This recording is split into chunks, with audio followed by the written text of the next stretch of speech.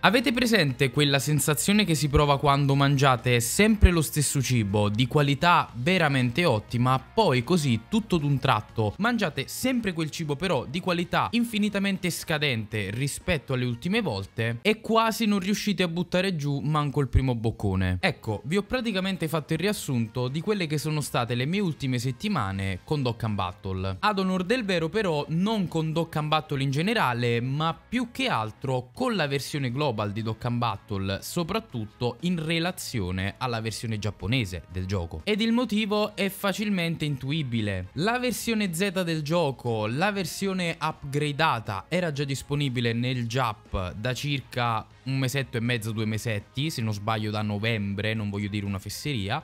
Nel Global invece è finalmente arrivata con l'aggiornamento di oggi, quindi finalmente possiamo giocare anche noi player global. In realtà io sono anche un player Jap, ma va bene. Comunque possiamo finalmente goderci anche noi la versione migliorata di Dokkan Battle con la versione Z che porta innumerevoli migliorie da qualsiasi punto di vista e soprattutto in qualsiasi menu la si voglia andare a guardare. Vi dico e vi annuncio che questa sera con tutta probabilità ci vediamo in live con Dokkan Battle proprio con la versione Z della versione globale. Quindi mi raccomando non mancate perché di sicuro ci andremo a portare a termine tutte le board, perché eh, dovre- sì, ne sono 5. Ci sono 5 board da poter farmare all'interno eh, del gioco adesso per poter poi alla fine riscattare la LR di Goku che fidatevi è fortissima. In molti pensavano che questa qui fosse soltanto una di quelle classiche LR che regalano ma che serve a un caspito e soprattutto che regalano i nuovi player. Fidatevi questo qui sarà un regalo molto molto apprezzato anche per i player veterani perché è davvero una bella carta e vi ritroverete a giocarla più e più volte, ve lo posso garantire. Quindi andremo sicuramente a farmare lui, ci saranno da farmare tante stone, ve lo dico, da queste board ed andremo anche poi a sviscerare ancora di più la versione Z. Start, qui abbiamo già la prima grande miglioria, o meglio il primo grande cambiamento a livello di menu rispetto al passato. Abbiamo l'aggiunta della Dragon Ball Story, che vi invito a farmare perché anche qui ci sono eh, delle novità e soprattutto, se non sbaglio, ci sono delle stone che potremmo ottenere, ma a parte questo, a parte questo, comunque, se non sbaglio, servirà tantissimo questo evento proprio per farmare le board per poi portarci a casa sia le stone che la LR di Goku. Ora andiamo un attimo a vedere altre migliorie. Ad esempio, nel menu team abbiamo in primis la possibilità in questo momento di poter creare praticamente 10 team, ma per ogni pagina ed abbiamo praticamente 5 pagine a disposizione per un totale quindi di 50 team, che è tantissima roba. Proviamo a fare un autoselect senza autoselectare il leader. Anzi, proviamo a fare così, guardate. Uh, autoselectiamo come leader ad esempio Vegeta e vediamo se mi autoselecta un powerful comeback più uh, rappresentanti dell'universo 7. Vediamo un attimo cosa mi crea, ad esempio. Ecco qui, mi ha creato praticamente sia Powerful Comeback che rappresentanti dell'universo 7. Powerful Comeback ovviamente abbiamo i vari Gogeta, come vedete, e poi Universo 7 abbiamo i vari Goku Ultra Istinto, eccetera, eccetera, eccetera. Io direi, guardate, proviamo ad autoselectare questo team, anzi, proviamo a farne un altro, vai, utilizziamo ad esempio Legendary Existence, Super Saiyan, eccetera, come vedete. Bojack ovviamente che non sembra azzeccarci nulla fra i Super Saiyan, ma comunque rientra nelle Legendary Existence. Quindi come vedete funziona più o meno bene questa, questa, feature, più o meno bene, cioè fa quello che deve fare, quindi serve tantissimo, anzi servirà tantissimo per i nuovi player. E a questo punto andiamo a vedere anche un'altra miglioria proprio legata al team building. Infatti nel momento in cui adesso noi entriamo in battaglia, come vedete non abbiamo più la scelta del, del personaggio che vogliamo portarci come amico, ma ci viene auto automaticamente autoselectato in base a quello che è il leader del nostro team. Quindi è come se il gioco scegliesse quasi una sorta di leader migliore in base al team che noi abbiamo messo su. In questo caso Legendary Existence più Super Saiyan. Possiamo ovviamente anche farglielo riscegliere nel momento in cui cambiamo team. Ad esempio, se io entro qui in questa schermata e voglio decidere di utilizzare per dirvi quest'altro team, è vero che il gioco mi ha autoselectato Goku come leader, ma io andando a premere qui cosa succede? Mi cambia automaticamente nel leader migliore per il team che io ho cambiato. Rimettiamo di nuovo Legendary Existence. Ovviamente io posso anche autoscegliermelo, se a me non va bene questo leader, posso tranquillamente fare la selezione classica eh, a cui siamo sempre stati abituati. E ovviamente noi a questo punto portiamoci in battaglia anche perché abbiamo anche un'altra, forse la più importante migliore, l'automap e l'autobattle. Non tanto l'automap, ma più che altro l'autobattle, che purtroppo, ragazzi, per quanto possa funzionare male, per quale motivo? Perché ovviamente non sta lì a gestirvi le varie rotazioni, non sta lì a gestirvi uh, faccio linkare questo personaggio con quest'altro personaggio perché linka meglio, eccetera. No, semplicemente in base a quello che è l'ordine che viene generato casualmente dal gioco, sia all'inizio della fight e sia nei turni, eccetera, eccetera, non riposiziona, lascia i personaggi così, gli fa prendere giusto l'unico ragionamento che può fare al massimo e soltanto fargli prendere quante più orb possibili per raggiungere un keymeter più elevato, ok? Con, singola, con quel singolo personaggio in realtà. Quindi se si trova, come vedete, guardate questo turno come me l'ha lasciato. Cioè me l'ha lasciato praticamente non facendo linkare nessuno. Parte che comunque nessuno avrebbe potuto linkare, partiamo da questo presupposto, ok? Però mettiamo caso che potevano linkare i personaggi, ma avrebbe comunque lasciato Goku Int, i due Goku Int vicini, ok?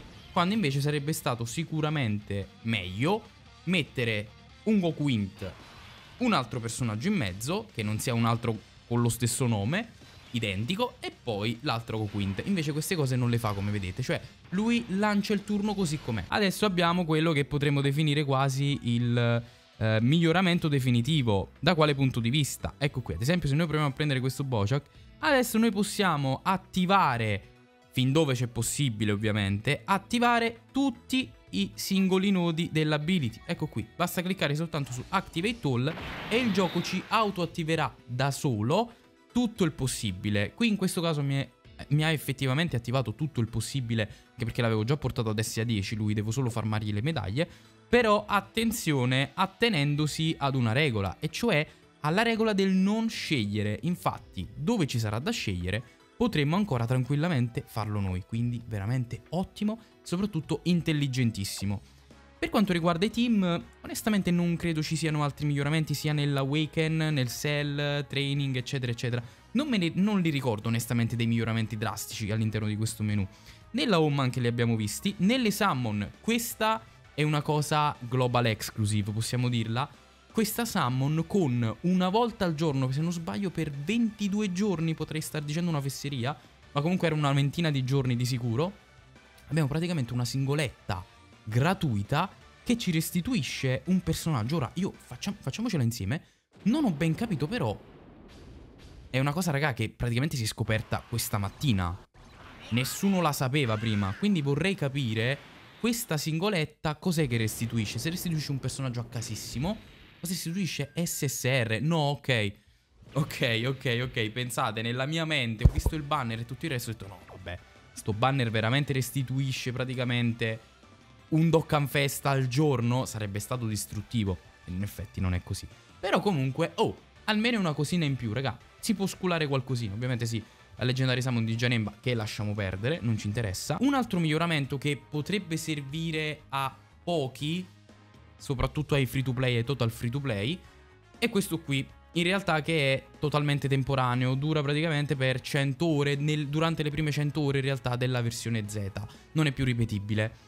È una cosa però che attenzione, io mi sentirei questa qui di consigliare, non entrambi i pacchetti ma almeno il pacchetto da 3,99, mi sentirei di consigliarlo anche a coloro che o non shoppano mai nel gioco o che comunque shoppano veramente veramente di rado perché è un'ottima ottima offerta questa qui.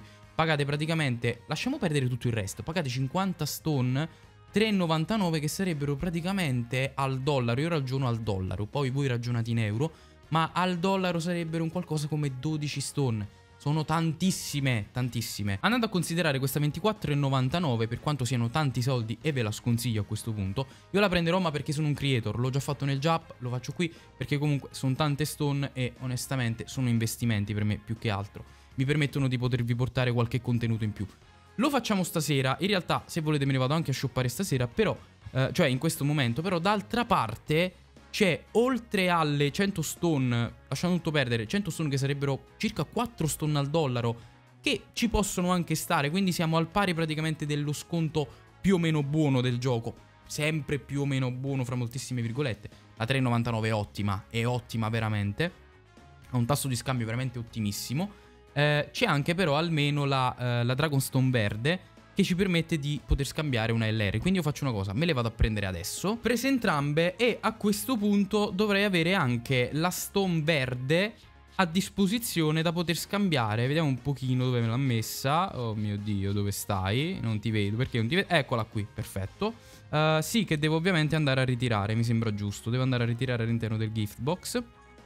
E adesso abbiamo da poter scambiare questa qui per una LR che decideremo questa sera. Quindi mi raccomando, in live vi aspetto perché deciderò insieme a voi quale LR andare a scambiare all'interno della versione global.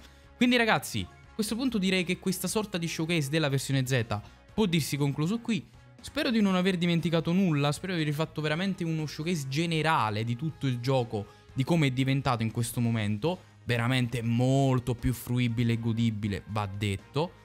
E quindi a questo punto ci si può anche concentrare un pochino di più sugli eventi più importanti del gioco e non più a farmare, rifarmare, rifarmare le medaglie quando mettete l'autobatto e gli fate fare tutto il gioco, va bene?